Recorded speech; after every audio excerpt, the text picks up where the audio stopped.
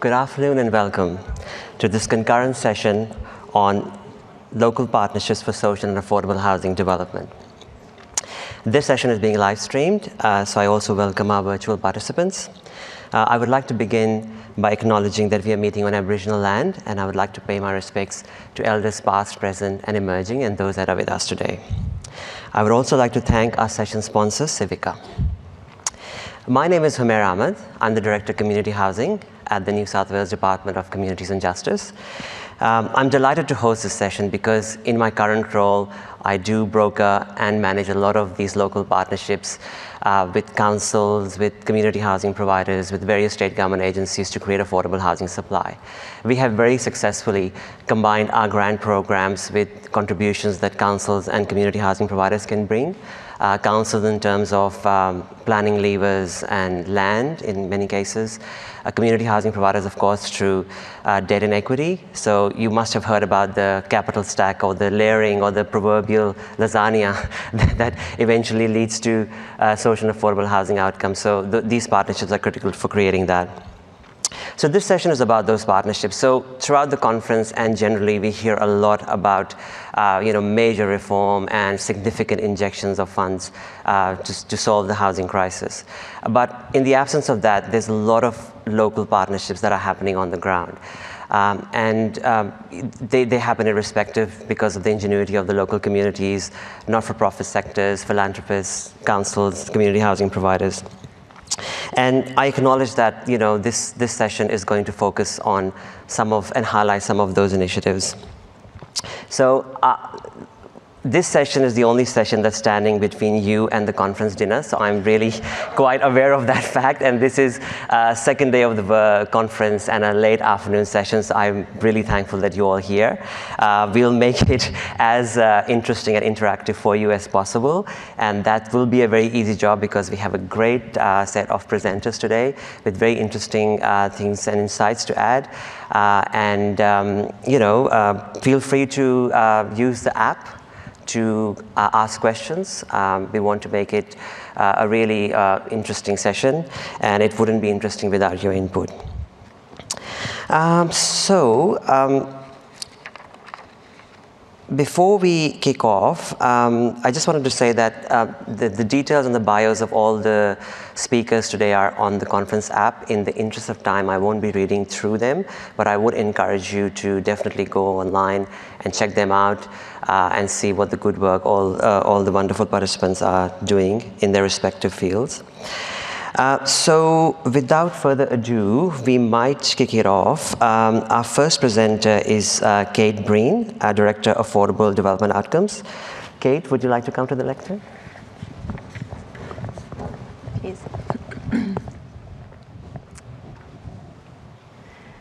Hi, thank you everyone um, for coming to this session. Uh, it's been really pleasing to actually see the question of what role local government might play in a number of um, questions in other forums. So I'm hoping uh, what I talk about today um, is just a little bit of um, the jigsaw puzzle and that it um, is thought-provoking and inspires you to um, connect with local governments or if you're a local government, think more about how you might play in this space.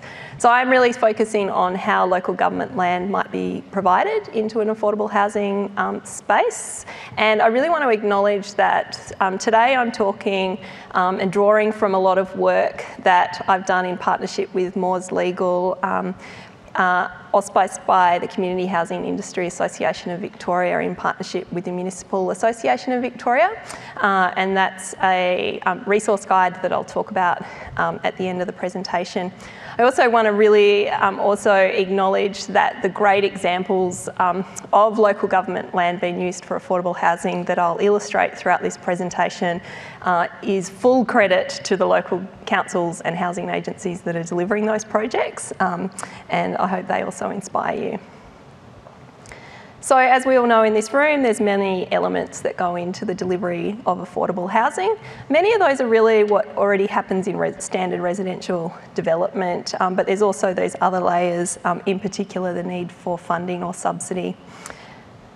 We also know that different layers of government, but also the private sector and particularly the not-for-profit sector can play a role in this space. And as I mentioned, I really want to focus today on, well, what's the potential and uh, opportunities around land, specifically land that is currently in local council uh, stewardship. Some of the uh, context, well, we know local governments are clearly very community um, driven, they are, are, social planners, there are land use planners and planning authorities. They're also asset owners, they own everything from small parks, car parks, through to grand town halls. They are also really close to the need on the ground, um, but they have very limited capacity to directly invest and respond to the challenge. Um, and it's really, I guess, not been their primary role to be developing and managing affordable housing. Uh, and do acknowledge there are some um, historic examples and still some active examples of how um, councils managing very small amounts of affordable housing, but it really isn't their primary um, responsibility.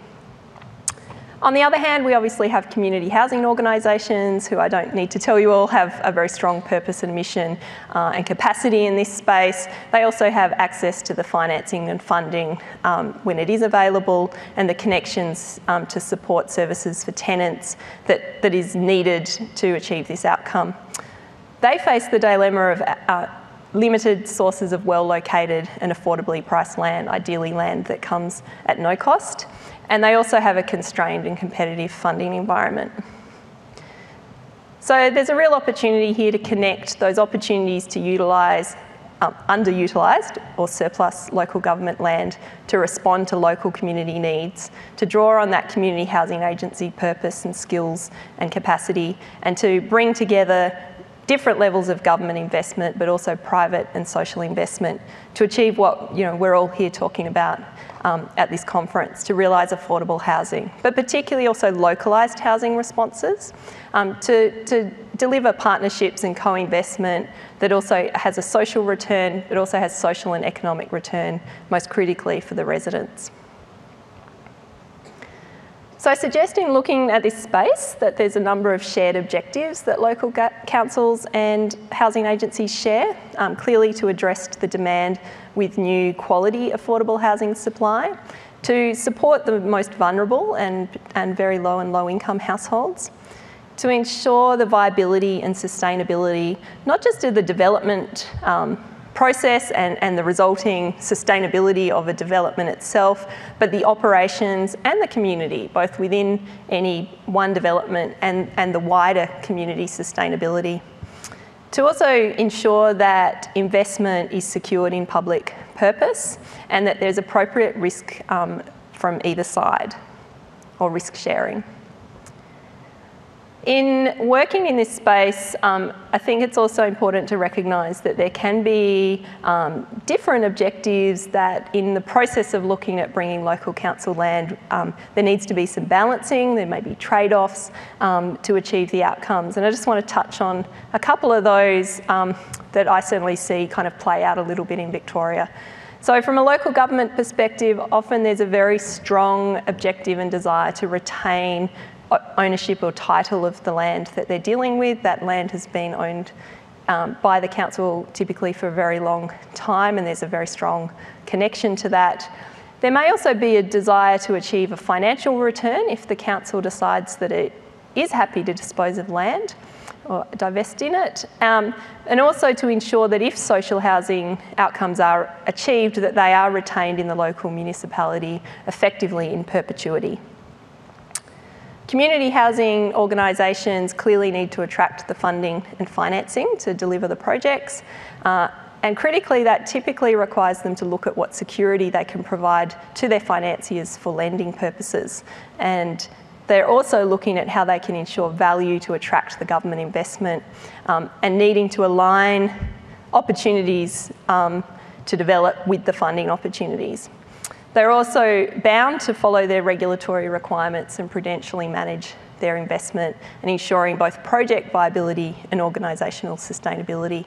Um, just want to highlight that these aren't insurmountable challenges or differences, but they are points where there may be some tension in the process of looking at how local government land might be um, provided that will need to be kind of thought through in the process and may need um, you know, one objective to be lowered in order to achieve the, the overarching objectives I talked about on the earlier slide. So the key questions, um, other than of course, uh, what land do you have and how might it, um, you know, what can it achieve? I think, uh, well, how might you as a local council actually provide land into this space, or what I refer to as your delivery model? And how could the value of that contribution um, be secured over time? There's a whole range of things that organisations will need to think about in this space if you're to look at putting in land. Um, I think it's fair to say that it's not a simple process, but also what I'm trying to highlight here is if you start to break it down into different elements, um, there's a range of expertise that councils might bring in in the first instance around um, design, uh, for instance, planning, but there's also a range of um, considerations around financing, feasibility, funding, and critically the ownership and control over the land and the resulting asset. We also clearly need to take, councils clearly need to take into account the community views. So I'm just going to touch on now four different um, delivery models that a council that may have land, hopefully you're out there, um, might um, apply to realise affordable housing in partnership with a community housing organisation. So the gifting of land, it's obviously pretty self-explanatory, involves the transfer of title. Could also um, involve the title to property above the ground, a ground floor, is what we call um, air rights. And that's clearly an optimal model for housing agencies because they don't have to pay for that land. It gives them the title so they can use that to borrow. They also have the long-term development and redevelopment potential of that um, site. The key challenges clearly are that it transfers that control out of the, the council. Uh, it has been referred to in parts of Victoria by some councils as privatisation, even though it's uh, I'd argue that's not when it's going to a not-for-profit, um, but that is um, uh, seen as not acceptable, and there is obviously a risk that the site could be sold in the future. Um, that can clearly be protected through um, legal mechanisms, but just on its own, if you were just to gift with no other control, there is that risk. Sale at, of land at a discount, I suggest there may be some circumstances where councils may consider this, and that could be selling the land at a discount to a housing agency or to a private developer with an affordable housing requirement. Um, there is a, quite a few challenges, and from a um, you know procurement and um, process sense, there's a lot more that a council would need to think about, um, not least what discount and what affordable housing outcomes if they're selling to the private sector. And it's definitely less attractive um, just from a feasibility point of view from a housing for a housing agency. On the flip, sale to a developer may also face a lot more community resistance. And it clearly faces those same challenges as gifting around losing title and control. Uh, this is an example of um, a site in Melbourne, in the city of Whitehorse, uh, where land has been sold at a discount um, to just illustrate the kind of circumstances where that might um, occur. And as you can see, this is a very large development and it was sold uh, to a consortium of MAB Corporation with Housing First um, to develop into a mixed tenure development with I think around 70 or 70, just over 70 um, social housing units. So a third model that's um, been used by a number of councils in Victoria at the moment is around leasing, um, and that's clearly where council retains the title and uh, I put it a discount and really talking peppercorn, um, you know, they're not, they're not actually getting a financial return, but at the end of the lease period, the land reverts back to full council um, control, potentially also the assets. There's a number of challenges here. Um, the housing agency would struggle to use that land asset for borrowing because the bank can't secure its lending against um, the land. And there are going to be opportunities that are going, you know, housing agency with limited resources will weigh it up against other opportunities where they do have that full control. Um, and a really critical issue becomes, well, what is the management process of tenants at the end of that um, term, who has responsibility, both practically but also, I think, from a public perception risk management point of view. The other model, which is actually two, joint venture and partnership, are actually quite distinct legal um, terms. Uh, is actually not something I've seen yet, but I think as we get into looking at what assets councils can provide um, and the affordable housing space is clearly getting a lot more sophisticated and evolving very quickly. These are, these are models that may be attractive in certain circumstances. And it's really a partnering approach, and that means that the two organisations um, are working out a joint venture type structure, perhaps, um, where they're sharing the, the journey um, really as collaborators and partners, but they're also sharing the risk and they're sharing the reward.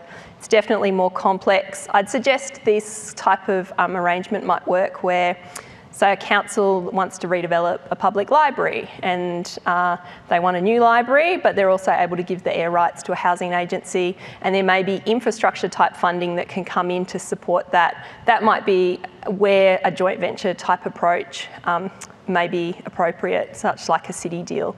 Um, it will still ultimately require the parties to work out uh, what happens with the affordable housing assets. Are they leased? Are they gifted to the housing agency at the end of the development? Are they retained within a joint venture vehicle that's co owned by the parties? So, the other part then is that, that, that these two questions kind of sit alongside each other. How do we provide our land as local council, but also how are we making sure we secure the outcomes we um, want? And for some, that could be how do we secure this land um, in affordable housing purposes forevermore.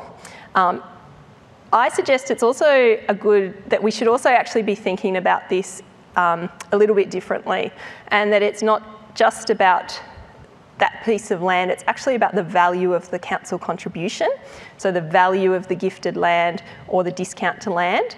Um, or it might be about the actual affordable housing outcome in terms of number of households that are supported for a period of time. And the reason I raise those points is it is really important to remember that land has um, both other non-monetary value to councils. So as I said, it um, you know, can have a, I guess, a um, very close attraction to a piece of land that's within their area, but also strong views around retaining it in ownership. But that land is only one part of the development equation. So providing land on its own won't uh, suddenly result in affordable housing. All of those other funding and financing inputs are really critical, and that's obviously what the housing agency is bringing or attracting other investors to, and they need to then be um, making sure they're pr- appropriately both attracting that investment but managing it over time, um, as well as their regulatory requirements. So, how the land's provided affects the feasibility and uh, in turn, you know, the project, um, whether the project will succeed, and how that council contribution uh, is valued and held in that process. So just draw on here um, the Victorian Government its own land use policy guidelines um, talks about definition of public value and just I guess reminding us that it's not just about an economic value that you know the valuer general places on highest and best use on your piece of land that clearly councils are actually thinking about other um, outcomes and uh, it was great to hear that Chi is doing work around um, this in the, in the earlier session. So the last part then is, well, how might you secure your contribution, not your specific piece of land? Um, and there's a couple of different ways that a council could look to do that. Um, it could accept that housing agency is a not-for-profit um, organisation, the charitable purpose um, is sufficient comfort that, that, um, that there's no other tools required, that that's what the housing agency is there to do. If they ever wind up, their assets go to a like-minded organisation and that, that's actually sufficient comfort. I think that'd be a great place for us to get to, and, but it might take some time before we're there.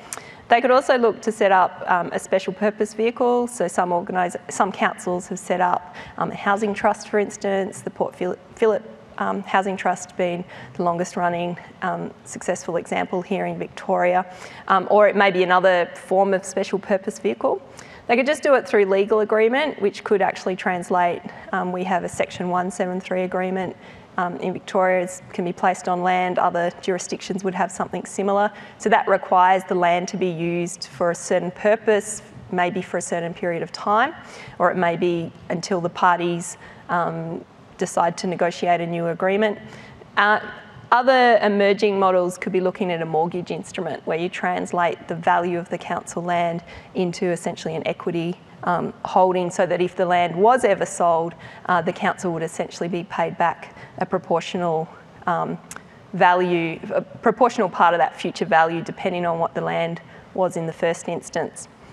So I don't actually, unfortunately, have time to go through all of these models in a lot of detail today, but a resource is coming soon. Um, it hasn't yet been uh, released, it's you know, at the printers, uh, but as I mentioned, Chia Vic and MAV, with funding from Homes Victoria, engaged myself and Moores Legal to put together a resource guide that's really intended to unpack these ideas of how councils may provide their land and how they may secure their contribution and give a pretty detailed analysis of those options to save you having to do it. It's also um, intended to support community housing um, organisations look at options and engage back with local councils around which options might suit them um, best.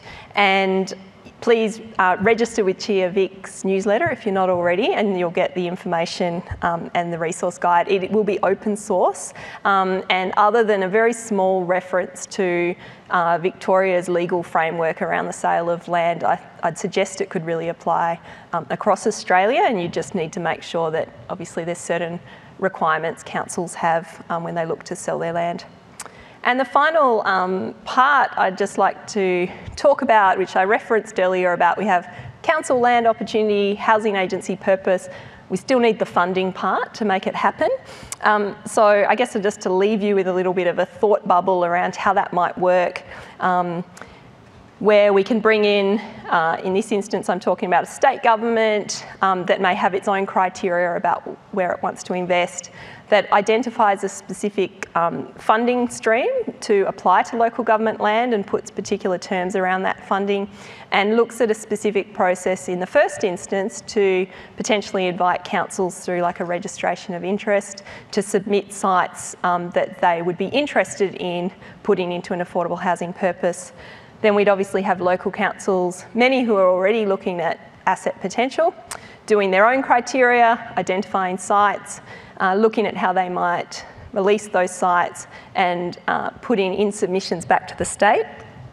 The result of that, that process, I would hope, would be um, a dedicated funding stream for you know, maybe up to a certain amount of number of sites or outcomes per year, potentially some sort of agreement like a heads of agreement between the council and the state.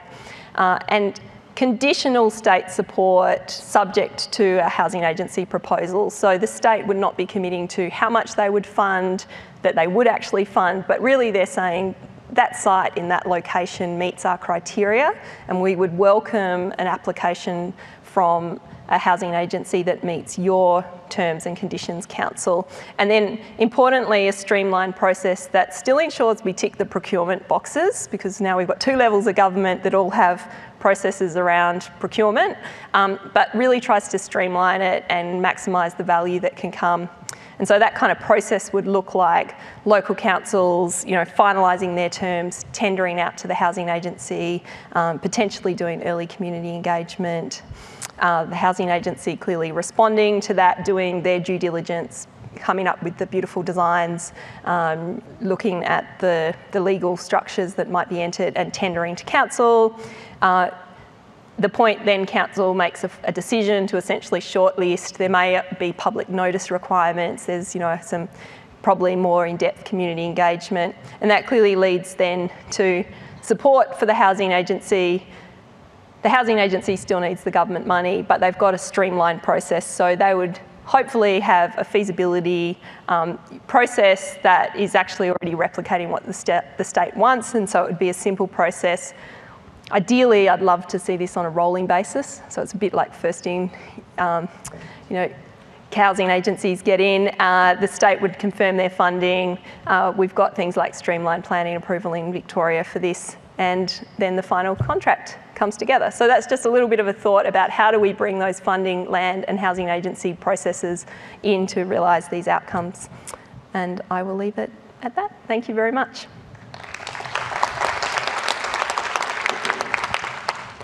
Thank you. So I think my first fail as a facilitator, I wasn't a very good timekeeper.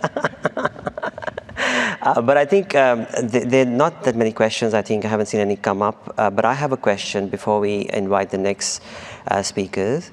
Um, my in my practice in New South Wales, the problem we the problem I think most councils face is that they're not set up as housing agencies and uh, they're not resourced for it as well. So while there's a lot of good intent and they really want to create affordable housing in their council areas, they just don't have the resources. I think there's always that need for an integrator or someone to come in and form those partnerships. I think that's my feeling. I think uh, we we provide that kind of support, uh, you know, with the limited resources we have. But I think. Um, uh, is that, is that has that been your experience in Victoria as well, or? Uh, I guess I'd say that it's not the housing, that it's not council's role to be the housing Yeah, agency. exactly, yeah. I know New South Wales has got a little bit of councils in this space, and that that's, that's the expertise the community housing sector can bring. I think probably, again, where maybe the state could support is a little bit of capacity building funds, and, and we did have a little bit of this actually a couple of years ago in Victoria, to help councils engage the consultants to give them that really early um, due diligence assessment essentially like what's a kind of basic yield outcome? How much is the land valued?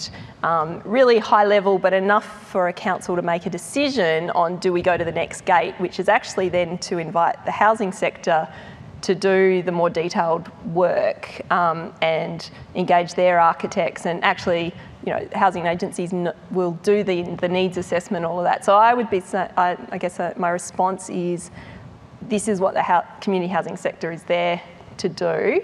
Um, and it's probably more about council just having the resources to manage the process and managing the political side of the process. Yeah.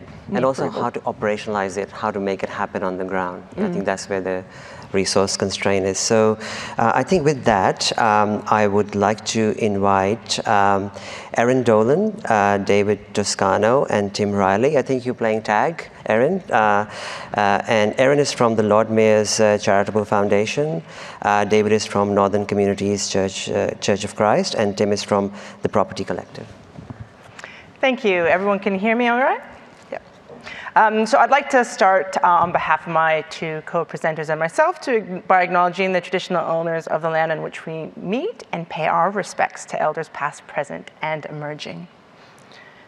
Um, we're going to um, talk a bit about a practical example. It's great that Kate um, went first. And perhaps um, more than an example, we're going to um, talk to you about the journey to date about a parcel of land in Preston and our um, desire to build affordable housing there. So, um, my name is Erin Dolan. I'm from the Lord Mayor's Charitable Foundation. We are the uh, community foundation for Melbourne. Uh, we support the critical issues facing Melbourne, and next year is our 100th year anniversary. We have five impact areas. The one that I work in is homelessness and affordable housing, and what we're trying to do there is prevent homelessness or pre- preventing entrenchment into homelessness and increasing the supply of quality affordable housing. And to that end, we began an initiative called the Affordable Housing Challenge. um, to encourage landowners to build affordable housing on their underutilized land. Um, uh, our first one was in 2017, um, and that was with local councils. So um, Kate and I have presented before on this topic. Um, you'll see the beautiful concept design there from a site in Darebin Council, um, and Housing Choices, a community housing provider, have were successful with a long-term lease on that. Uh, it's currently under construction. Um, the Affordable Housing uh, Challenge was created through a partnership at the Affordable Housing Hallmark, which is the name now of a, a group based at the University of Melbourne. Uh, the foundation funded the university to create the Housing Access Research Tool. I recommend you take a look at this on uh, the web.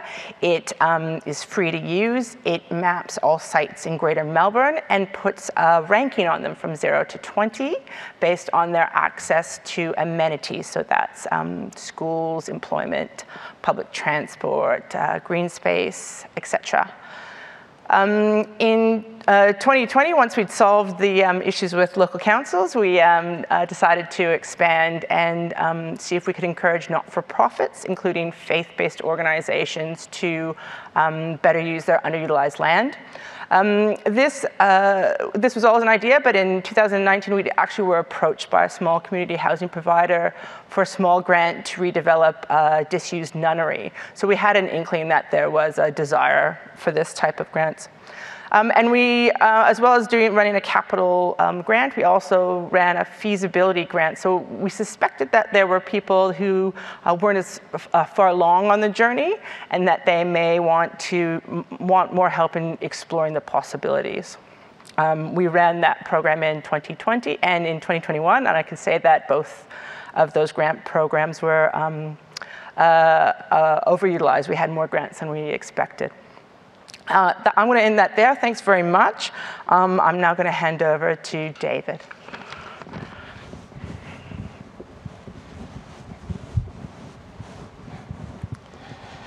Thanks, Erin.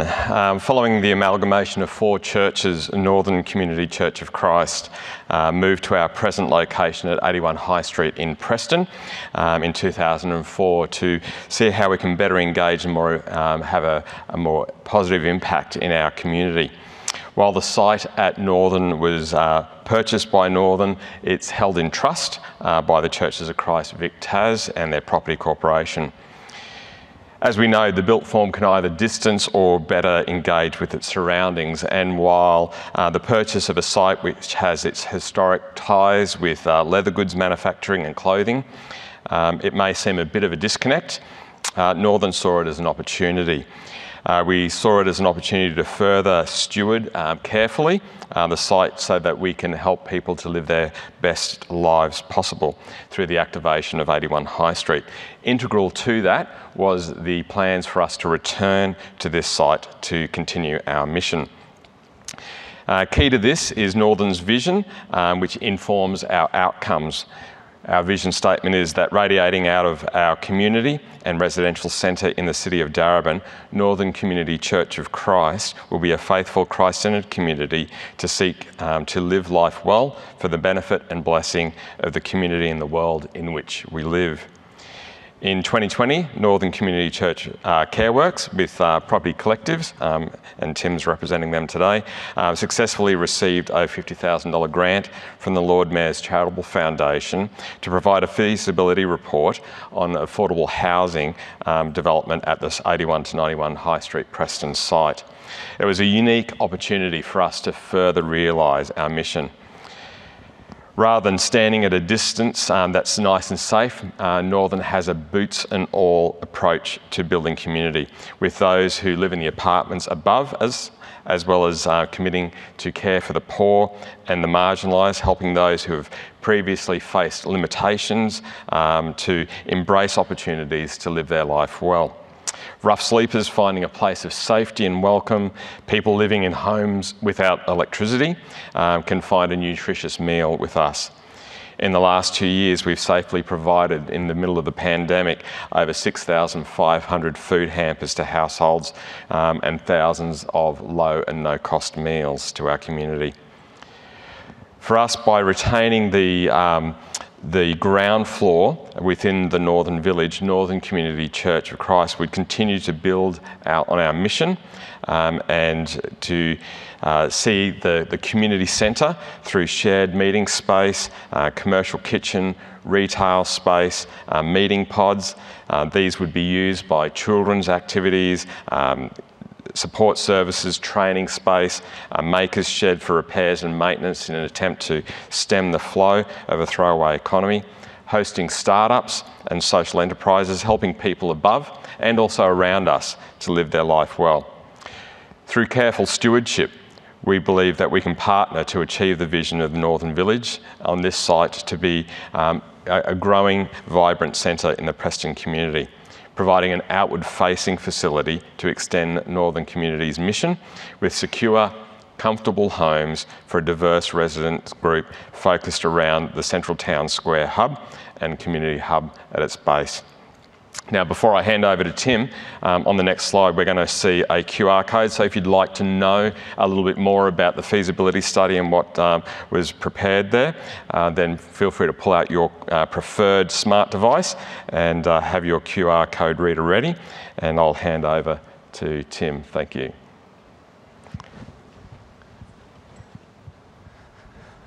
Thanks, David. Thanks, David. So I'll talk a bit about um, the feasibility, feasibility study itself. So in terms of the objective and process, um, really our objective was to protect the book value of the church's asset while enhancing the social impact for community. In terms of the process, we introduced a plan of work uh, that was disciplined in defining the vision and included a robust development brief. So we did spend a lot of time with David and his leadership team understanding really clearly what were their functional requirements and what areas um, and relationships between those areas that, that the church was after. Um, it was really important for us to test uh, these requirements in words and numbers at the start of the process. So by the end of the process, we could look back on that and say, hey, have we, have we achieved what we were looking to, to achieve? Another important aspect was understanding the residual land value of the church asset. So while, the church had an understanding of what its book value was, um, obviously in a development um, um, in a development sense, you know, land will have different values depending on what that development outcome is that you're looking at. So we looked at different development scenarios um, from speculative through to um, a build and hold scenarios through um, and and then also anal- analysed what the commercial cost or opportunity cost of the ground floor um, program was. Um, and we thought this was really important to articulate to the church what the different trade offs are, looking at different development models. Um, another um, factor in, in how we uh, approached this was looking at separating the design envelope um, that the site um, presents in terms of its planning, um, plan, the planning controls, as well as the commercial structures and the financial modelling to identify the most viable pathway. So we examined all conceivable development options from speculative to affordable and social housing uh, to try and work out what was the right pathway for the church. Uh, to do this, we developed four key design scenarios. So we looked at schemes of between 80 to 140 apartments. And from this, we generated 14 different financial scenarios till we got to what we think is the most viable um, pathway for the church, and that ended up being scenario C8. Um, so th- throughout this process, we, we were also very conscious of staying abstract um, and staying in the numbers before commencing any detailed design development, um, because we always knew that um, once we understood what the strategy was, um, engaging with the uh, community housing provi- uh, community housing providers um, meant that they could overlay their unique um, uh, needs and, and, requirements over, over this core feasibility study. So this is, um, uh, this is the church's preferred ground floor um, program as, as a starting point. Um, so you'll see that, you know, we have a, a, number of requirements here from the church, from op shop to um, uh, offices to um, a maker's space, um, to have some open space, a commercial kitchen, um, and, and obviously circulation. And this is an example of what we um, put forward as what a, a, a, speculative developer would look to um, prosecute on the site. So, you know, the, di the, difference here is that we've got the minimum amount of commercial space fronting High Street, um, and the rest of it has been converted into residential. So this is, um, I suppose, an example of us um, spending uh, the money from Erin's grant to analyse a number of different development scenarios uh, to ensure that as we worked through the process with the church, um, you know, the church was comfortable that we'd thoroughly investigated every, um, every opportunity. These are the four key design um, uh, scenarios. So the top two are all apartments um, and have sort of minimum commercial, maximum commercial on the ground floor, and the bottom two involved um, uh, having some townhouses on the panhandle uh, and apartments on the main part of the site, and again having minimum commercial and then maximum commercial. This is a render of where we've sort of ended up in terms of what we feel is the most viable um, sort of design response from the church's perspective, um, which ends up having the church um, divest part of the site um, to protect uh, their asset book value and then retain control of around 1,400 square metres on the ground plane um, and then develop the air rights. Um, so what we're looking at at the moment is a, a project of around about 80 units with a, a, future value book value of in the order of $40 million with, from, from what we can see, enough development margin and yield on cost to make the project viable. Uh, over the, towards the end of last year and the start of this year, we, we conducted a market sounding with a, a few CHPs. Um, we issued them a term sheet with the church's requirements um, and in a commercial engagement framework. Um, and our starting point on preferred structure was a 20 to 30 plus year ground lease with rent, um, with a mix of affordable and social housing. Uh, the market feedback was that there was a general preference for strata um, and a capital grant for social housing. Uh, a couple of renders of what we think the built form outcome could uh, look like. So next steps, um, we're progressing with the project and, and, looking to form a joint venture. We are looking for a values aligned community housing provider uh, with development capacity to JV with. Um, we've identified a potential partner and we're now exploring progressing uh, to participate in the build and operate um, big housing build grant round um, uh, in the middle of this year. And we're also preparing to conduct now a more detailed design work to finalise business case modelling for investment committees. In terms of key learnings, um, the first one was really that um, the foundation funding was, was critical to enable a structured and methodical process with the consultant team um, and to allow the church, I suppose, to, to find a consultant team that um, was really working in the church's best interest. Um, so everybody's uh, objectives have been aligned throughout the process. Um, the grant also has enabled the development of what we think is a pretty replicable process in terms of how we've approached this. Um, so that's another positive out of the grant. Um, strong client-side vision and leadership has been imperative and, and you know that's kudos to David in terms of the way he's led the process internally with the church. Um, and you know the vision I think is a pretty compelling one um, for, for CHPs to, in, to engage with as well. The third, third point there is, you know, obviously demonstrating residual value of the church's asset from a development perspective um, was really important, I think, for understanding, uh, for internal buy-in uh, amongst the church in terms of understanding what the, the trade-offs are and what the best pathway is for the church to follow. Um, and again, point four, um, particularly when um, grant funding is scarce, um, and you know this early feasibility work is quite uh, is really around strategy. Um, you know, we were really careful to not delve into detailed design work too early until we'd really um, worked out what the, what the numbers were indicating. And the final point, I suppose, is you know we did start this journey um, wanting to explore whether a ground lease uh, was possible, um, and through the journey, I suppose we found that it is difficult to progress um, this innovative sort of structure in the current environment where you know the CHPs are resource constrained and the grant funding rounds are the main game. So it does seem from a innovative structure perspective, you know, that we're sort of in an evolutionary and maybe not revolutionary environment. Tim, thank you.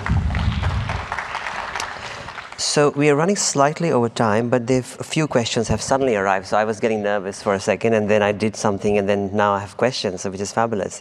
Uh, so I think the the questions I have are mainly for Kate at the moment. Um, I might quickly ask you, Kate, two questions, similar theme. It's mainly around um, what do councils do when they don't have land, mm. and um, they, I think a lot of councils want to partner with CHPs, but you know, don't don't have the means to do that. Mm. Um, but of course, there are other things available to them in terms of planning levers. But do you want to sort of elaborate on that quickly? Yeah, um, and City of Port Phillip here is a fantastic example of how you can use car parks. Uh, I'm guessing that when councils say they don't have any land, I think if you investigate, there would be pieces of land. They just have another use.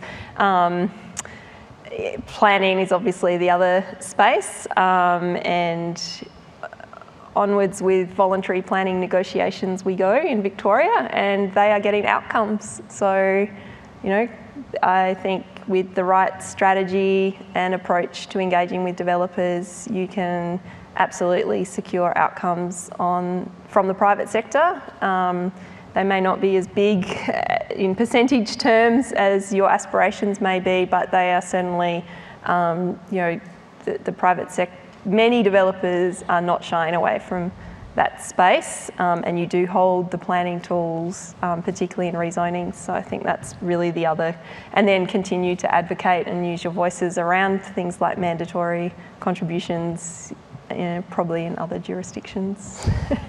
Thanks for that. And very quickly, Tim, I had a question for you. Uh, you mentioned towards the end of your presentation the ground lease model, and uh, that that kind of sort of the way I understood was that you still need that grant funding, which is more important than just a lease, and that lease probably doesn't give providers enough to actually create supply. Was did I understand that incorrectly, or?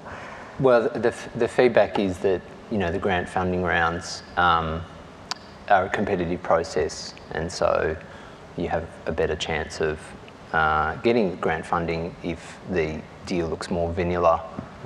Um, and a strata, a strata deal is more vanilla than a ground lease. So, yeah, yeah. Um, you know, I think it's a trade off between um, wanting to do something and making something happen versus holding off and, and maybe, you know, looking for other partnerships to, to, do, to do things down the track. Um, um you know, under, under a more innovative, innovative structure, if that makes sense. Yeah. yeah. Thanks for that.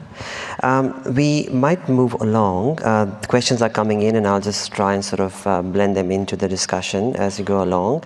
Um, our next presenter is Michelle Roberson from and Housing Corporation. Um, Michelle, that's your cue.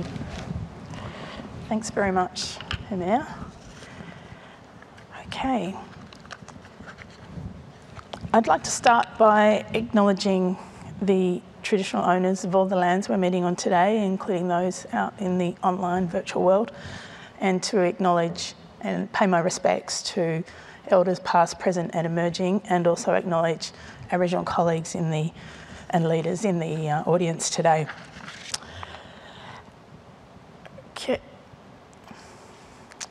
I have to show that because our comms person will be very cranky with me if I didn't show you our new branding collateral.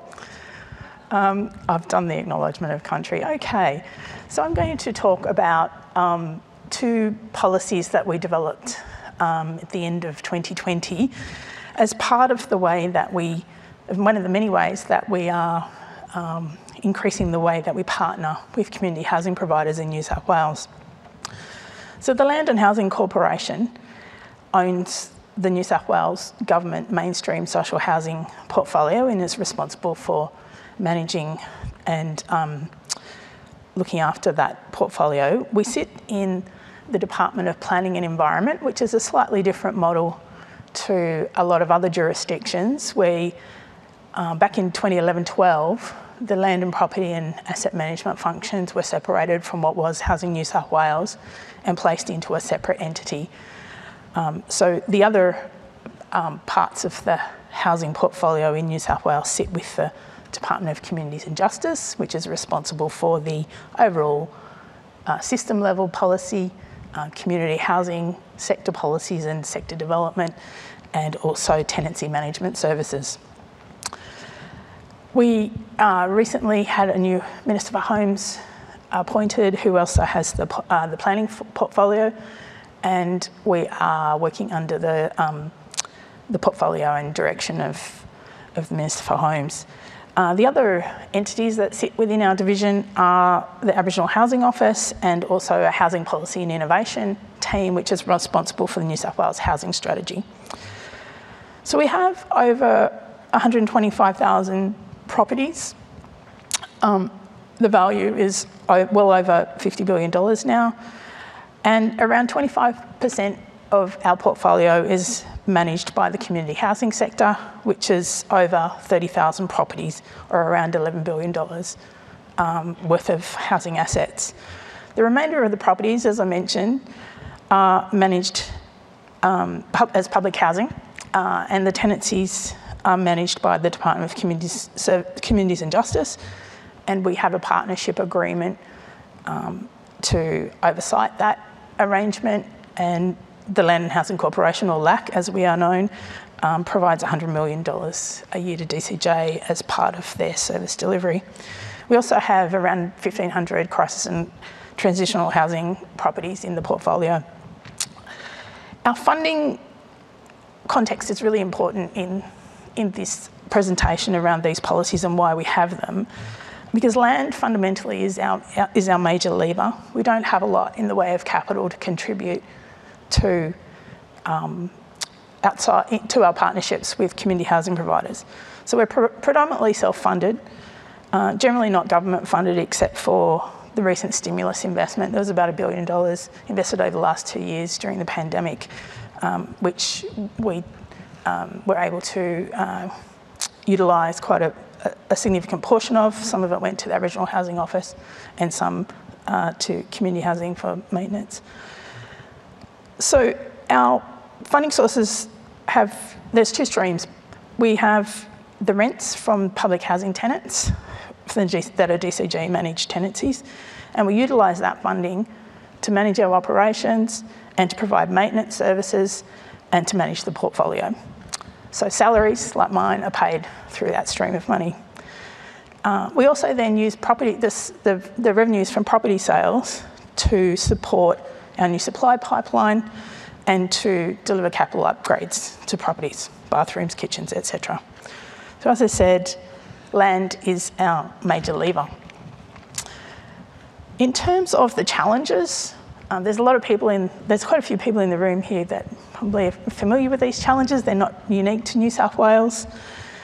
Our portfolio is much older and bigger than needed. It's not well aligned to need.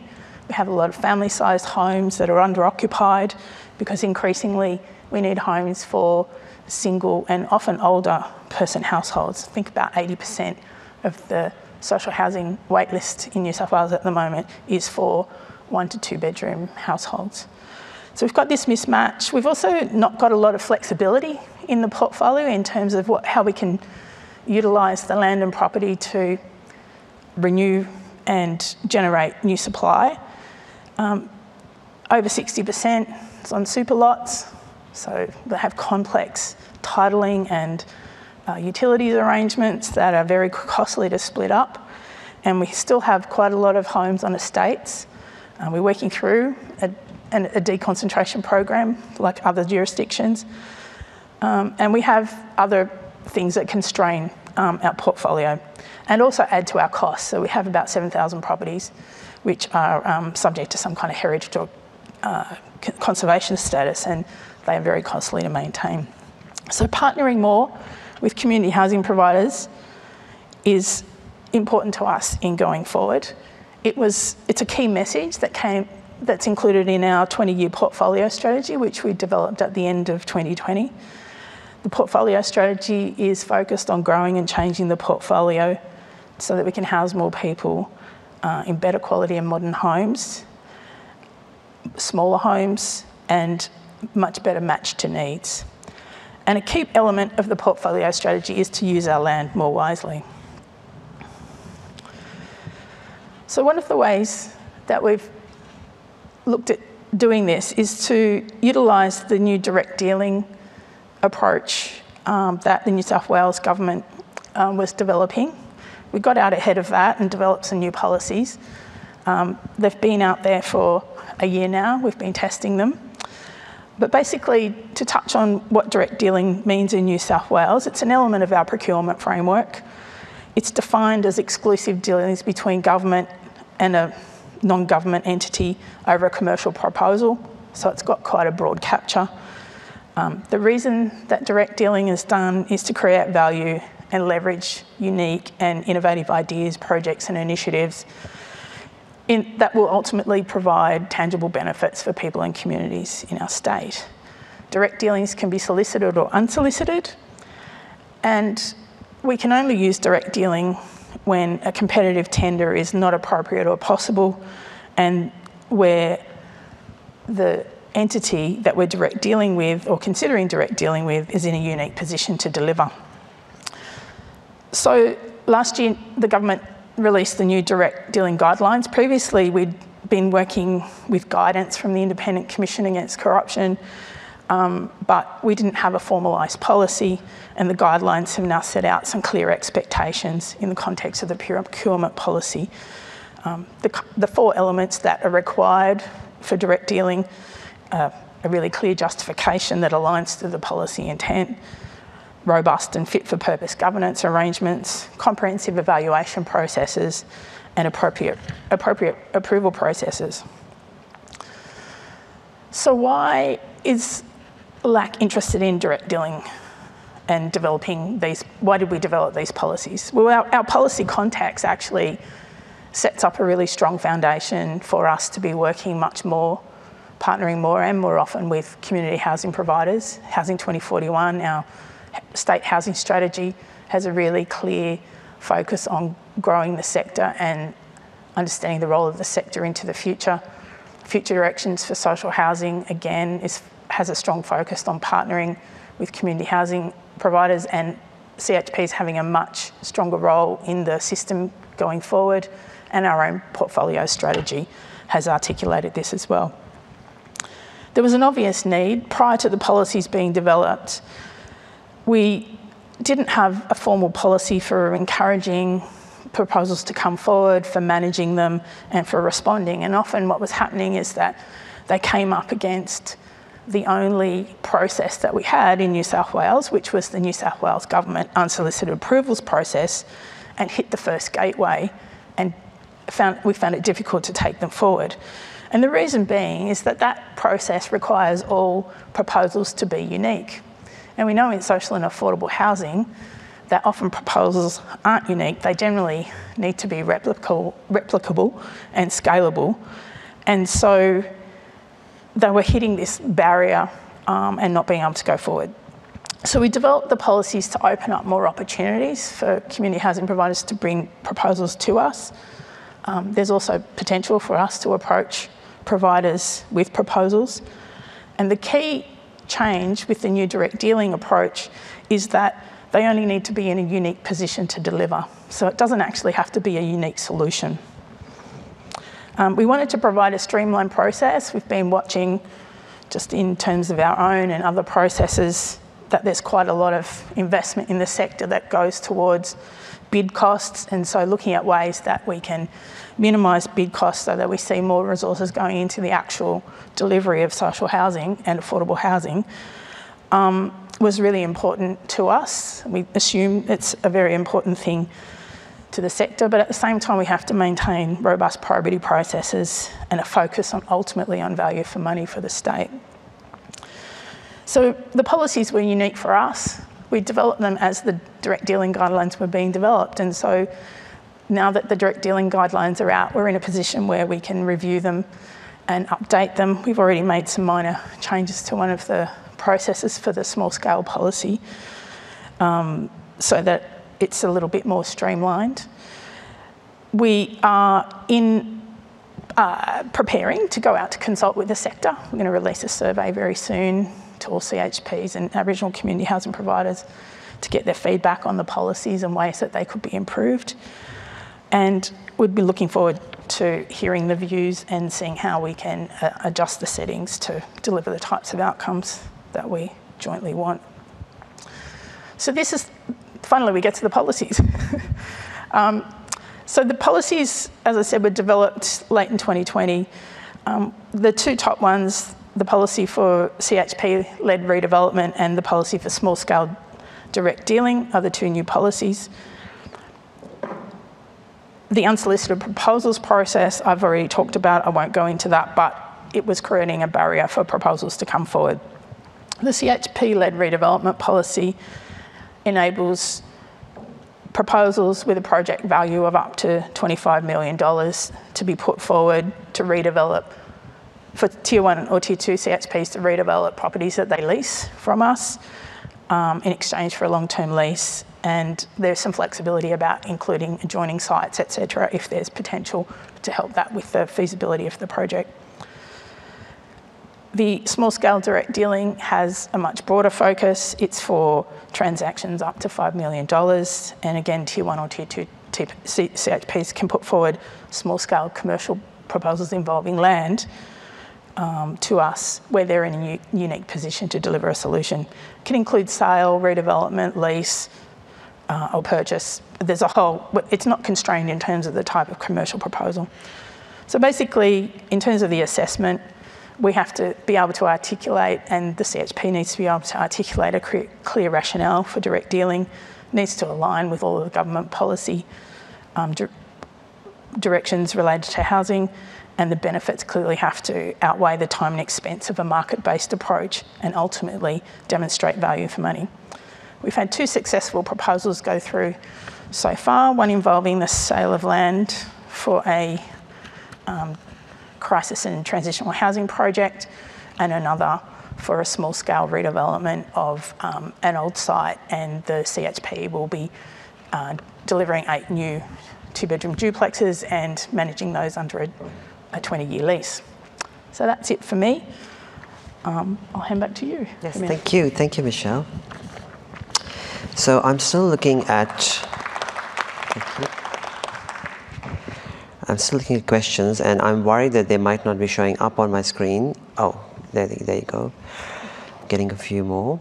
Um, so the question for Michelle is small scale direct dealing, why limit to tier one and two and not tier threes? It's a really good question.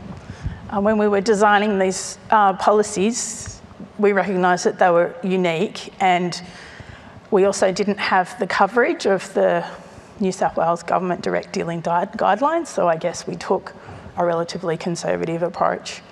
In the review, we'd be really keen to hear about the sector's perspective on any of the policy settings. So we're open to hearing about that. Thank you, Michelle. Uh, I think there's no further questions. Um, so let's move on to the, and I had one question which you answered in your presentation. Oh, so. excellent. uh, let's move on to our next presenter, our final presenter. Uh, our final presenter is Katharine Buden. Katharine is from, the, from Development Victoria.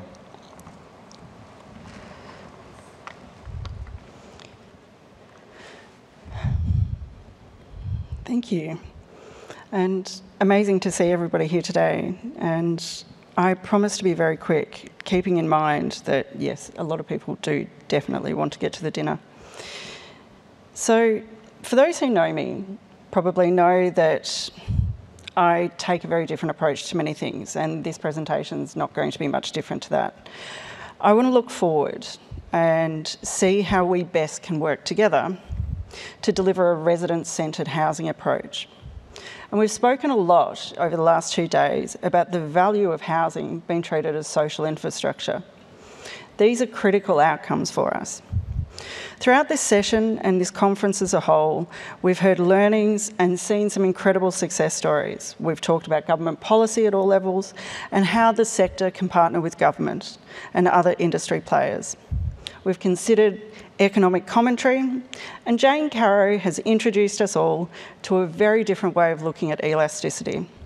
Surprisingly, that's actually something I'm going to come back to. So, over the next 15 minutes, I just want to share some experiences and consider how we can potentially move forward. Before we end today, we will have looked at some challenges and constraints that face both government and the housing sector when trying to partner and work together. We'll consider our common drivers, our objectives, and the factors that impact the growth of the social and affordable housing sector. How do we actually work on achieving a resident-centred approach? And what's missing as well? Then finally, how is Development Victoria responding? At the end, we'll touch on a couple of forward goals and maybe some opportunities of how we can all potentially partner together. The role of Development Victoria. As the Victorian Government's state development agencies, we combine commercial expertise while focusing on achieving government social and economic policy outcomes. And we do this for the benefit of all Victorians in mind. Our mandate is broad and it covers urban renewal sites, priority precincts such as Docklands, the revitalisation of Central Dandenong, and more recently Fitzroy Gasworks. The development of housing outcomes for all Victorians, making sure that the communities we build are diverse, inclusive, and sustainable. And we partner across government to deliver some very significant and outstanding civic projects, such as the Melbourne Park redevelopment. But specifically, when we think about affordable housing, Development Victoria has set itself an exciting yet challenging target. Working with government, working with the sector, and also working with the private development market, we are committed to making sure that 25% of all our dwellings are affordable under the objectives of the Planning and Environment Act. This is our first step towards achieving a resident centred housing outcome. But what are the challenges and complexities that face all of us? And how can we do this together? While the objectives of delivering affordable housing is shared for both the government delivery agencies such as DV and the housing industry, the complexities we face are significantly different. But first, I just really want to comment on why I say resident first, not tenancy simply because Development Victoria does deliver affordable housing outcomes for all Victorians. This includes rental outcomes and also market home ownership products. We see that all residents are equally deserving of a home and of that opportunity. But if I think about our challenges, we exist similar to New South Wales and every other state government land agency in a way that our transaction environment is very restrictive, and it needs to be, and it should be.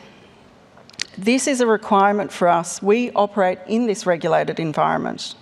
We have to apply the requirements of the Victorian Government Land Transactions Policy, which sets boundaries for us around valuations, how we can go to market, and also how we can structure our commercial outcomes in comparison, and I don't think there are many people in this room today who can say to me that any two social or affordable housing transactions look the same. The sector has a need for agility when it comes to transaction structuring. How you align funding requirements, the expectations of, of the debt position, and also how you tailor the transaction to the specific project outcomes and the timing. So, how do we do this? How do we merge these two very different outcomes and requirements? Well, we focus on the social and economic objectives that we all commonly share. Our joint policy objectives is to focus on the resident first, find a way of meaningfully increasing social and affordable housing stock across Victoria. And DV is responding to this and supporting the housing sector by providing certainty throughout the development cycle which in turn helps the housing sector more effectively apply the funding available and the resourcing to support your delivery. But our common drivers extend considerably further. It's agreed that we exist in a significant time of change, and we've discussed this at nauseum over the last two days. And I don't think any of us would ever be sick of continuing this conversation. We've seen that we live in a world that the pandemic has not only transformed our lives, but will have an impact for lasting generations. Every day there is commentary about housing. The criticality of affordability, the criticality of the importance of homelessness, and how do we respond to this? But almost by contradiction, and this was raised last night at the plenary. At the very, almost every time, the same masthead will tell us all about the value uplift of housing. They'll speak to us about the commoditisation of housing and how it is a critical and important wealth generator. But honestly, the narrative is changing. And this conference has showed that. We are starting to see government at all levels seeing social and affordable housing as essential social infrastructure. We are focusing more and more on the needs of the resident rather than just the built form. Speaking for Development Victoria, that might be challenging, as it would be for any developer in the room. But in response, we are transforming and we're driving innovation. We're seeing an unprecedented level of funding in Victoria through the big housing build. We're challenging the way we put money into the sector endlessly. We're focusing more on the needs of the resident, not the built form. We are transforming and driving constant innovation through this. The collaboration of our sector on a daily basis and the new ideas that keep coming forward are monumental.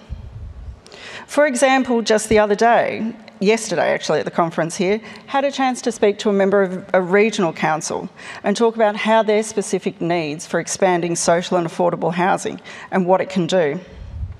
All players of government and our sector and the industry are working together. We're looking at different transaction models, looking at different housing cohorts and the specific responses that they need. What is a response to homelessness? The housing first principle there. What is our response to key workers? Targeting creatives, Aboriginal Australians, neurodivergent needs. We heard earlier about the LGBTIQ sector. I could go on. We've heard about co-housing and we're exploring that. We're exploring build to rent and we're also exploring concepts around rent to buy, just to name a few. But we have a multi-billion dollar question and that is how do we have a meaningful impact, impact on the supply of social and affordable housing? And how do we bring the resident to the front of the conversation? Fundamentally, we do this by changing the narrative. It's not about who owns the house, it's about who lives in the home. We need to keep the discussion going about the contradictory nature of wealth generation through housing and our need to build and grow a constant stream of social and affordable housing. On a specific delivery front, we're all getting better at consistency. Consistency of land supply, of transaction structuring, funding expectations, timing, delivery, and whose role we have to play. But more work needs to be done about the mechanisms to unlock the value of the created asset for the social housing provider and other ways that we can provide alternative revenue streams for the housing agencies to support the work that they do. And I'll come back to Jane Caro's theory of elasticity, and that's what I'm going to call it. But I'm not going to apply it to resilience. I'm going to apply it to the housing continuum. If we keep stretching the housing continuum and focus just on market housing supply and the capital growth component, then the stress and the tension point that we will continue to put on homelessness, social housing, and the lower end of affordable housing is just going to create a dynamic that the housing continuum will snap. Development Victoria, like all land agencies, has a mandate to respond to increased supply of affordable housing for all their communities. And in doing so, we're hoping that we're going to ease the elastic tension that exists. But we all need to work on preventing families and individuals from entering the system, entering homelessness, and needing that critical and high needs support. And we do this by focusing on who lives in the home. The other thing I briefly wanted to discuss, and I know that I'm coming out of time, is discussion around the economic benefit to society over the provision of social and affordable housing. It was touched on last night, and it's something and a conversation that we need to continue to have. We talk about the, the cost of the dwelling, the built form, the benefit of the jobs created through that construction cycle, and then we stop. Why? We don't need to do this. We need to factor in the whole economic value life cycle, the benefit to our community, the second, third, fourth order economic value that having people in their own home in a stable environment provides us. This is our role, everyone here, to spark these conversations about how we can drive value and how we can get to the best outcome for a partnership. Finally, back to Development Victoria. And what are we doing to respond? We continue to respond to the challenges of housing affordability. We do this by supporting government policy and focusing on doing it in an economically sustainable way. We are continuing to work closely with our valued colleagues at Homes Victoria, DTF, and other central agencies to meet government's policy objectives around social and affordable housing. Every day we are innovating the way we deliver social and affordable housing. And there are many of us within the organisation that are, have this front of mind every day. Our objective comes through about increasing affordable market stock to take the tension again off the housing continuum. How can we enable communities and how can we build communities that are sustainable, that are economically viable, and that are affordable? How can we integrate into our communities an environment that suits and meets everybody's needs? Which means that we are expanding into the support and the delivery of social housing stock. We're constantly testing new and emerging housing models, such as affordable build to rent. And more recently, as I said, directly partnering with Homes Victoria and the social housing sector. But more critically, what we're doing is growing our relationships across government and the sector, and also with the investor market and the, and the development sector. But we're always looking for ways that we can take tension off the housing continuum. So, how do we keep the momentum going from here? And what can we all do? We can maintain the conversation. We can keep the door open to conversation and listen and learn it from each other. And that's what the last two days have been about. We can focus on the constraints, we respect each other's boundaries, and we focus on coming to a common outcome. I come back to my earlier point about making sure that we create an outcome where we're not looking at who owns the dwelling, but we're always, always focusing on the person, the family who lives in the home. Collectively, we need to agree that we treat social housing and affordable housing as critical infrastructure. And we've seen that conversation start. We need to believe and treat it as a principle that in turn has an end to end social economic value to our communities. And the resident has value. Putting a resident in a home has value to everybody in our society. Thank you.